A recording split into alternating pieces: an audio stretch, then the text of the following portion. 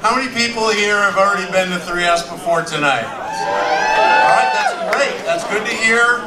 I spent part of my time on the, the all-volunteer board here. 3S is a nonprofit, and we depend on memberships and donations and beer sales. Uh, and so if you're not a member already, in order to keep doing cool stuff like this, we need more members, so please consider doing that. Um, we're going to talk a little bit real quick. The band's going to be on just a couple minutes. We want to talk a little bit about the other parts of the series and recognize some important people that were part of making it happen. So first of all, 3S themselves were sort of crazy enough when we brought this idea. They want to do stuff that's multimedia, it's got visual arts and sound, and, and, and in this case, a legacy we want to celebrate about music and art instigating action and, and activity and people being outspoken. And so that's one of the things I love about 3S, which is awesome. Um, and then we also, to, tonight, want to celebrate the visual exhibits. Anna's going to talk about the uh, photographers. So uh, when we dreamed this up, I, I love music and I, I'm an art teacher and I love art and they've always been one and the same to me. Um, and, and The Clash brought my politics and, and music and art all together too and I fell in love. Um, and photography, like going to a live show, there's nothing like going to a live show, right? Um, and I thought it was so important to have that visually represented not only by having all of you here at the live show, um, but also with some photography of some amazing live shows. So um, we have two photographers that are highlighted out in the lobby. If you haven't checked it out, definitely take a little swing out there um, and check it out.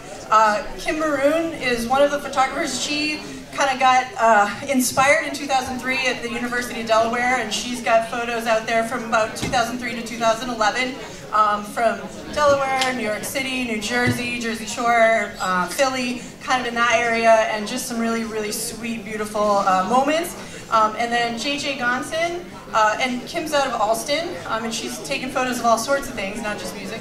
Uh, and JJ Gonson's are those big slam dance uh, pit photos of hardcore shows, which is one of my favorites, um, and, uh, and, and seeing big sweaty bodies up there above the couches just makes me super happy. Uh, and she, uh, she's, she's fabulous. She uh, runs Once Ballroom in Somerville. If you've been there for a show, it's a sweet, sweet venue. Uh, good human being, just like just like 3S is run by good human beings as well. Um, so we're super psyched to have those out there. So check them out and throw them some love if you have a second. Yeah, let's hear it for Kim Maroon and JJ Gonson.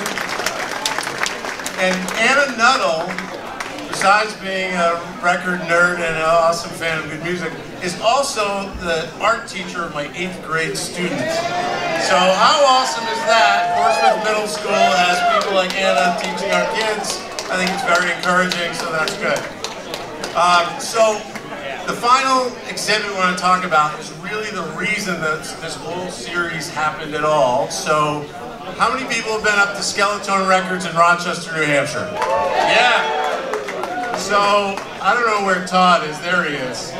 So, we'd go up to Skeleton, and you go up and you see on the walls, you see all this crazy Clash collection, and Anna were talking, like, man, this should be an exhibit. People should see this celebrated at a place like this, and we talked to Todd, and not only was he crazy enough to say yes and say so right away, he was generous and awesome and helpful and friendly the entire way that we were working on it. And he's, you talk to Todd, and hear his story about all these records that he's collected. They, were not, they weren't, weren't from eBay, they weren't from buying them online. He bought them in stores, Japan, all kinds of places in the world and he's uh, as real deal as it gets as a fan. You won't be able to pry one of them from him. Doesn't matter what you offer for money.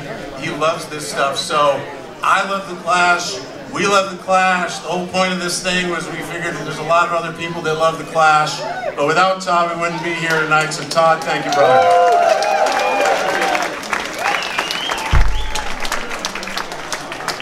All right, and then and of course, I don't have to tell all you guys how great London Calling is. It's turning 40 years old later this year. I know we all know that. There was a great excuse timing to try and do this. And the other piece of the puzzle that none of this would have happened without was uh, my friend Tim McCoy. I know all you guys, know, a lot of you know Tim McCoy.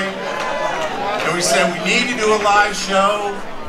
The only guy to talk to was Tim. I knew he could want to do it. I knew he could pull up, pull it off, and find the right people who were also Clash fans to, that would want to do it and spend all the time. These guys have been busting their ass to learn all this material just for tonight, to do all this with all of you. They're as psyched as anybody to be doing it, and I can't be more thrilled that we're doing this tonight. So, in just a moment, please welcome Super Black Market Clash City Rockers to the stage.